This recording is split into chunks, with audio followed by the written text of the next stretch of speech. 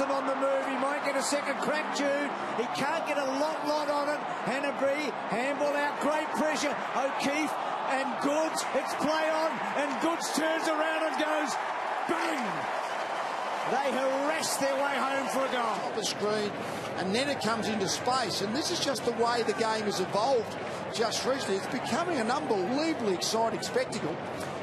And on that point, Lee, just when that passage of play started on the wing, you saw the four Geelong players with intent go to the one Swans player, yeah. opened up. Chris Cross would be disappointed that the release valve was there. And Sydney just really